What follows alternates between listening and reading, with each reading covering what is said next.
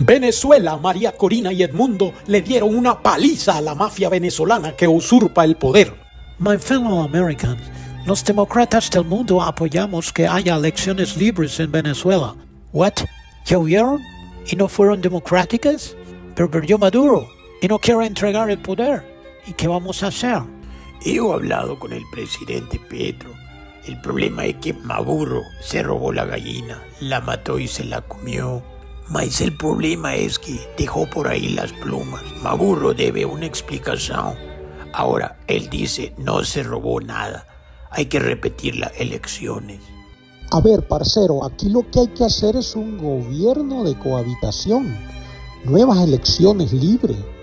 Maduro puede darle un carguito a Edmundo y a la María Corina y así nos evitamos viniendo venezolanos a Colombia, que ya es una berraquera, pues. Pero parece que el liderazgo de Estados Unidos hoy se percibe débil frente a la lucha democrática de los pueblos ante las dictaduras.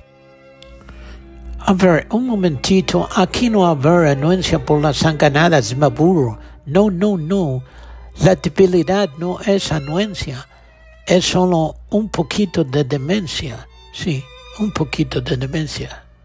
Brasil no puede darle la espalda a sus amiguitos del Foro de Sao Paulo y el Maburro es miembro de esta mafia de países zurdos. La izquierda no podemos dividirla más. Maburro es un man de la mafia de Sao Paulo. Hay que hacer otras elecciones para que lo vuelvan a elegir.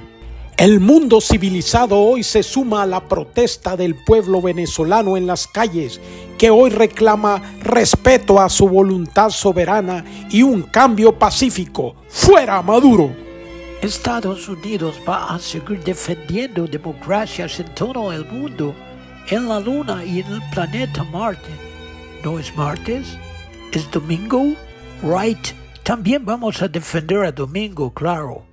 Eu respeto a la soberanía, a la soberanía del gobierno Maburro, claro. El Maburro es un burro, pero es nuestro burro, el burro de Sao Paulo.